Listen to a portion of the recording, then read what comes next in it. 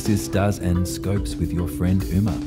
Updated every new and full moon with guidance based on planetary transits in the current sky and extra support from tarot. For accuracy, take a look at your rising sign first if you know it, and do feel free to listen to your sun, moon, and rising if you'd like the full picture. If you're interested in your birth chart, check out the readings page at umaruby.com. And if you'd like to support the work, head over to buymeacoffee.com forward slash umaruby and you can buy me a coffee. Finally, if you're a visual learner, look up Uma Ruby Tarot on YouTube and you can watch and learn. Okay, let's take a look. Hello, Cancer and Cancer Rising. Welcome to your horoscope for the new moon in Cancer happening on the 29th of June at 12:52 p.m. if you're in the southern hemisphere with me. So if we're going to manifest and ritualize this moon, I would gently suggest that you do it the night before on the 28th just so you get that darkness and you can work under that that black night sky. You can al- always do it at lunchtime on the 29th as well, that's fine. Uh, so, big stuff, lovely, perfect. It's the new moon for you, darling. It's in your first house. So, this is all about you, this new moon. This is a beautiful moment. This is a clearing to call in what it is that you hope and wish for on a soul level. So, the full moon last uh, two weeks ago, the last full moon that we just had, that massive one that knocked us all over, that really shook us to our cores, that changed and forced us to let go of things almost in tune with that of an eclipse, like it was really big.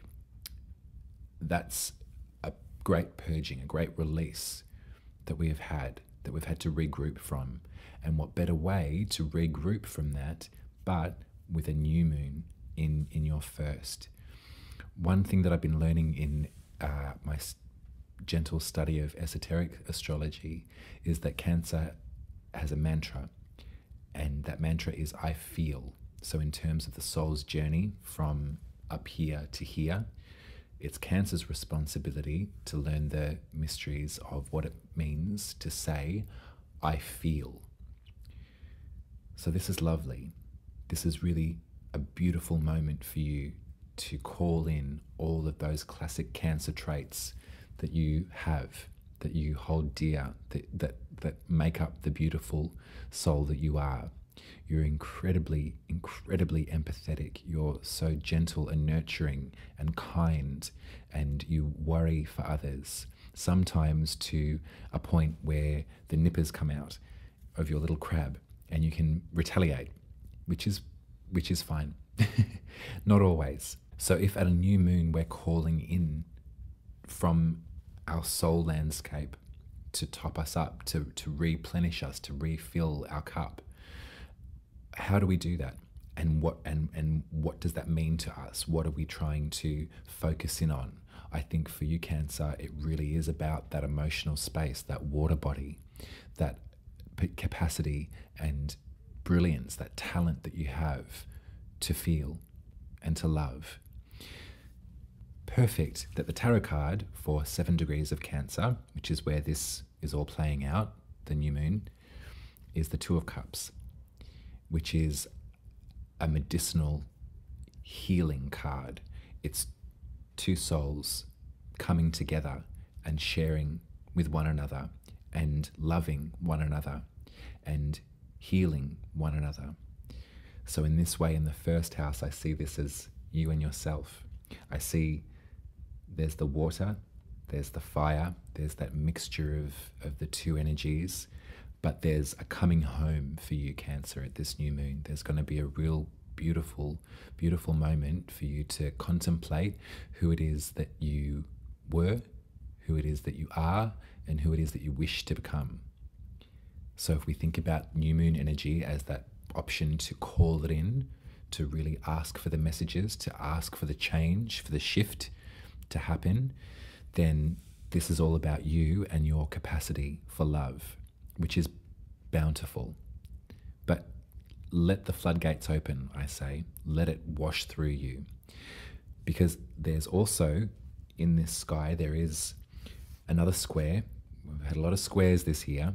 This one's with Jupiter, and it's just from one angle, so it's a right angle from one side. Jupiter is still is in Aries right now, and at seven degrees of Aries, which be forming this tension, this pressure between the the new moon and and Jupiter. But look at it this way: Jupiter is like the supportive auntie of the cosmos. Jupiter expands and zooms in on and encourages. So, right now in Aries, which is your 10th house of your career, your public perception, uh, there's some sort of there's some sort of action plan here. You're writing a script at the moment. You're writing a journey a journey plan right now in that aspect of your life. So rather than feel pressured by that, rather than feeling any sort of push and pull or kind of fight for supremacy like some of the other squares can bring on, look at this as like a reminder that while this is happening for you and this is really important stuff to do this is this you know we, we, we each only get one new moon in our sign a year so this is like a beautiful moment for you to really lock the doors close yourself in, don't answer your phone, take this night for yourself and really contemplate what soul means to you. What what what is that? And little Jupiter is there to egg you on and to say, oh, yes, but all that cool stuff we were concocting about your career or your public persona, how you're perceived by other people, what about that? and you can look at how that, those two can be incorporated. What is what is in the soul path for you that can be incorporated into the public persona? How is your soul, how is your, your essence seen by other people on the outside? And how can that work? How can that be incorporated into your workspace? So, Two of Cups, Two of Wands. Not competing, reminding one another. Hmm. So these are the tarot cards for the astrology. So I'm going to leave these on the board here. And I'm going to pull some intuitive tarot and really zone in with spirit and get this story fleshed out. So this one's just for Cancer, please, Spirit. Help me along. What does Cancer need to hear right now in this moment at the new moon in their sign? their soul purpose. They're being reignited with their soul purpose. Mm, the Nine of Swords. Of course. Oop. That's too many. I'll take that one. Hmm. You know, I'm going to take them on. That's a big reading, but it will make sense as we go through it.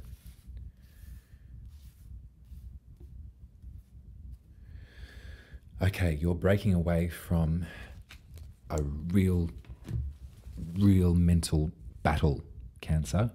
You're really have done so well to get through it. It's been incredibly difficult. I can really see that. There has been so many competing and conflicting thoughts stabbing you in the brain at all times, and you have just been so strong to be able to surmount this pressure. And I can really understand how that would be almost debilitating, or it would be, a, you know, time to throw in the towel. I get that. But you've come through. You've come through the other side. You really have. You've been so strong and you've been so gentle in that strength too. This hasn't been something, there's been no battle here. There's nothing about uh, righteousness or anything like that. There's a real gentle, yielding strength to this.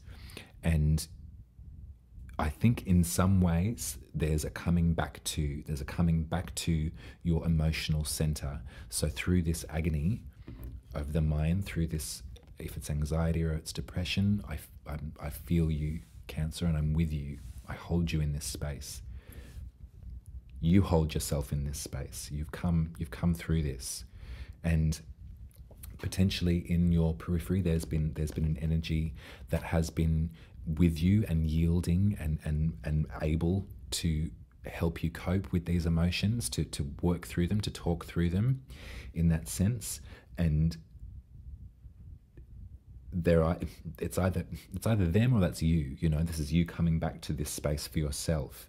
But i think that there's you know there's there's this there's a co-creation going on here. There's there's there's, there's a medicinal healing that's about to happen at this new moon. So yeah you've, you've been receiving some support as well which i'm very glad to see. I think that you may have had to have walked away from something is what i'm really getting here. You've had to walk away from uh, an emotional investment that was not an easy thing to do, but to self soothe and to take care of yourself, you've had to walk away and you've had to move on. And for that, you are being congratulated. Spirit is really letting you know, they're saying to me, Well done. This is a lesson. This is a big life lesson. And this is an example of behavior that you will not tolerate anymore this is an example of a space where you invested quite a lot. This is a big life lesson here.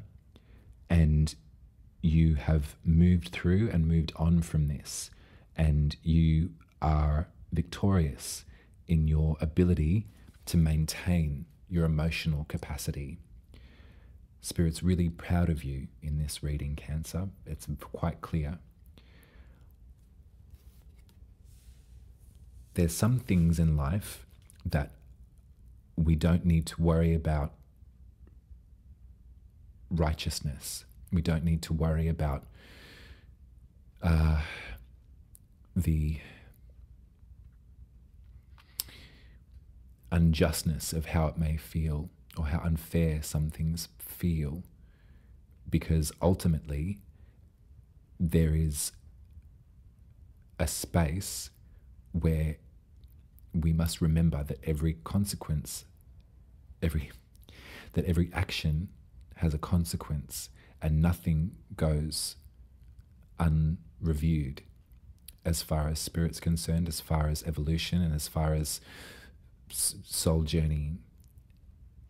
So I get a sense that this was incredibly difficult and it was not without big trouble this could have something to do with career and the public self. And this is why there's this been this expansion, this this this this encouragement to reroute the journey. Doesn't have to be this. I feel that this has got something more to do with your sense of self has been shocked, and this new moon is coming right on time for you, Cancer. There's something about this medicinal, this reunion is not between two. This is between you and yourself. This is you and you.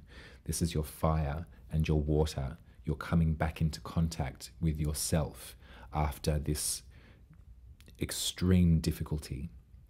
And please remember that justice will be done and that you are a good person and that it took a great deal of gentle strength to walk away with such dignity and knowing who you are at your core. You're, that's what you're doing now. You're reacquainting yourself at this new moon. You're going to call back in your magic, who it is that you know that you are.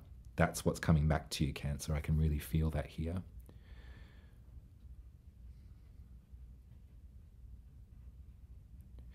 You're supported.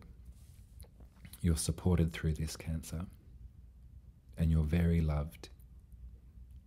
So much. So much. This is a this has been a test. And you passed the test. so at this new moon, this is your focus. I want you to put this, I want you to put Jupiter out of your mind for the moment. I think career and public self can, that can, we've got plenty more plenty more energy to play around with there as the as the year goes on. But this moon, this new moon in your sign, take this moment to talk about yourself. You know, like in, in that like to to to to focus on yourself. That's a banded about phrase quite often. Oh, self care, this or the other. This is more than that. This is like a really go inward, go inward and remember who you are and remember how far you've come and remember how strong you have been and how powerful strength is when it comes from water, from empathy, from love. There's no greater strength. Well done. All right, I'm going to leave this reading here, Cancer. uh, new moon blessings. So much love to you. Please enjoy it. Please enjoy it. Ritualize, you know, crack open your little broomstick and your witch hat if you want to. Get out there under the blackness. Um, you can head over to umaruby.com if you'd like to book a reading with me. I do offer them over there on my website. You can also head to buymeacoffee.com forward slash umaruby if you'd like to give me a tip for my service. Uh, my sand's about to run out, so I'm going to bid you adieu, Cancer, until I speak to you again in two weeks at the full moon in Capricorn, which is in your seventh house of intimate bonds, and the other so, what a perfect moment to let go in that area, to let go what we don't need anymore, what's no longer serving us, what's no longer in our existence. We'll let it go at that moon. Until then, take care.